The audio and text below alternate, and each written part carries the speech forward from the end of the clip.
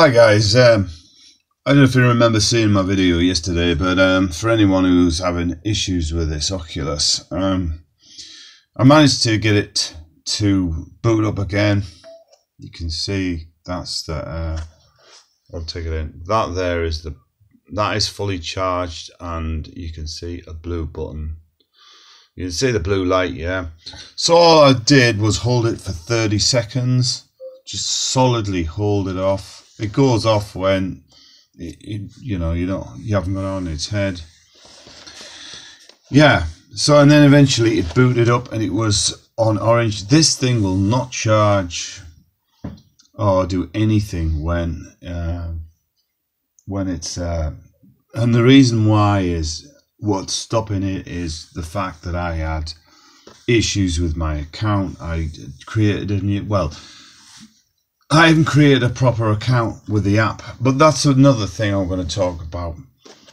Um, it's basically a data snooping device. If you look at the screenshot um, that I put on this video, it wants to collect data because it's part of Google, it, it's part of Facebook.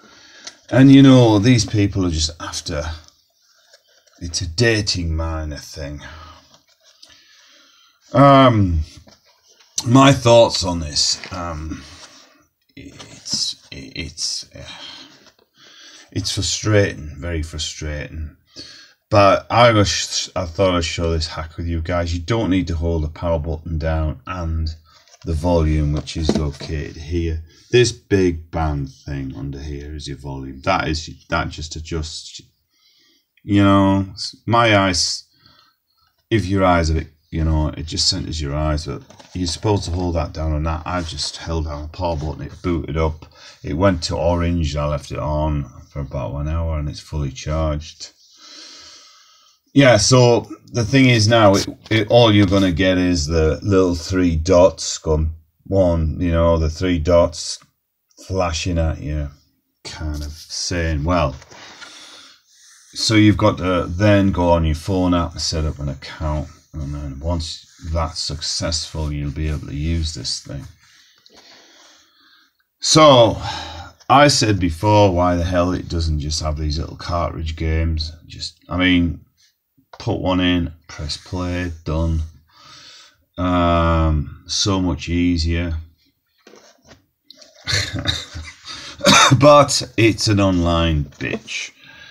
And it's uh, yeah basically it likes to be part of Facebook and Oculus, and you've got to go through all the hoops of getting online and setting up an account and providing all your details so they can butt fuck you hard.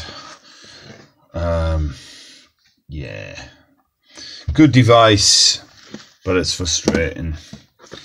So yeah, any guys who want to start this up and they get a cold or they just won't start, just put it or hold it down for 30 seconds and it will do. And then one of the reasons it will um, not charge to do fuck all or brickle because nine times out of ten it'll be your account and if your account is not relevant or you've changed your account or you haven't set up an app because it tells you to do it when you first get it and it will not do fuck all um, why they've done it like this I can understand, but I don't think I don't know why they just don't give us some games you can slot it in, like, and then just press play. Fuck all this signing in and creating accounts, and you know, there should be the option just to just to like like the PlayStations did years ago. You put a disc in it and you press play. It should be the same, a little tiny mini disc or something, you know um, for people who don't have internet accounts, this thing is useless.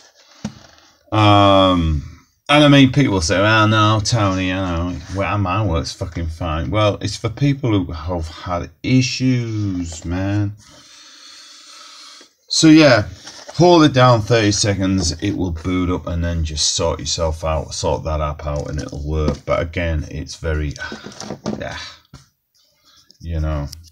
It might be mobile, it might be wireless, but it's still a fucking giant pin in my ass. Thanks for watching, guys. catch you later.